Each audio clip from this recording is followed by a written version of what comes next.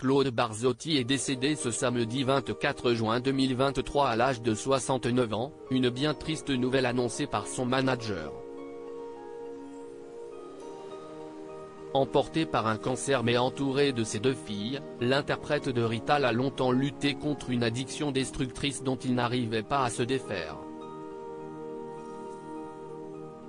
Claude Barzotti, auteur de slow et de chansons à succès des années 1980 comme Aime-moi, Madame ou je ne t'écrirai plus, est décédé à son domicile des suites d'un cancer, a annoncé son manager ce samedi 24 juin 2023 à la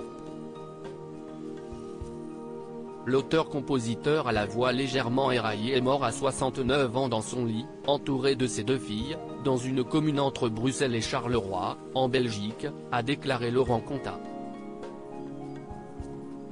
Une triste nouvelle qui n'a pas manqué de susciter des hommages, notamment celui de Mathilde Seigné à qui il avait écrit la chanson Mademoiselle MS.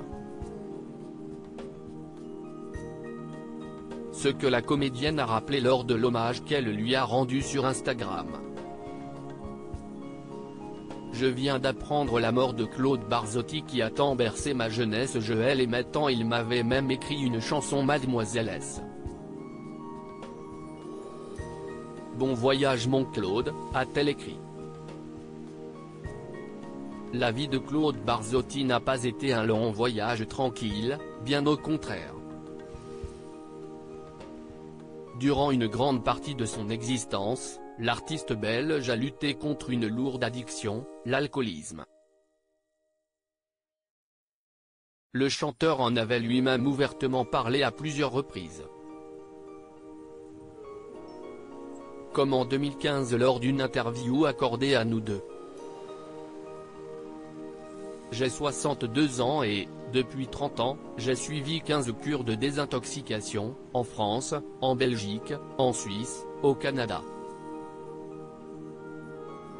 Je n'aille jamais cessé de lutter pour me défaire de cette addiction, avait alors confié le chanteur en toute franchise au magazine. Lors de cette interview, Claude Barzotti avait révélé avoir commencé à boire à 33 ans en 1986. J'étais tellement timide que j'ai bu mon premier verre de whisky. Immédiatement, je me suis senti bien. Ensuite, si est devenu une habitude pour vaincre le trac avant de monter sur scène, pour lutter contre une angoisse, un petit coup de déprime, avait-il avoué. Parfois, je suis six mois sans boire avant de replonger une semaine, disait-il alors.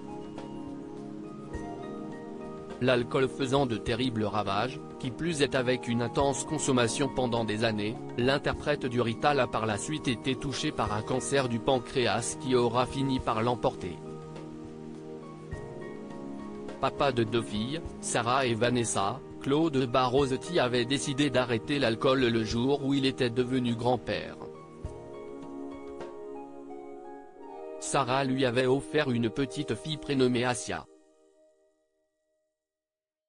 Je ne bois plus depuis deux mois.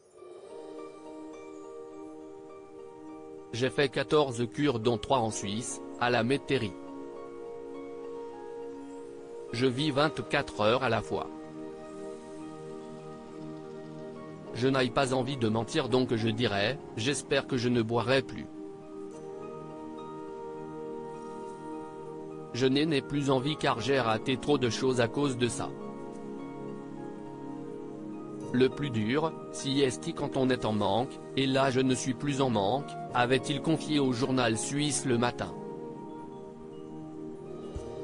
L'arrivée de ma petite fille est une raison de plus de tenir. Je ne veux pas qu'elle ait un papy alcoolique. Je veux pouvoir la garder, être un papy gâteau, avait-il alors ajouté. Une prise de conscience malheureusement peut-être un peu trop tardive.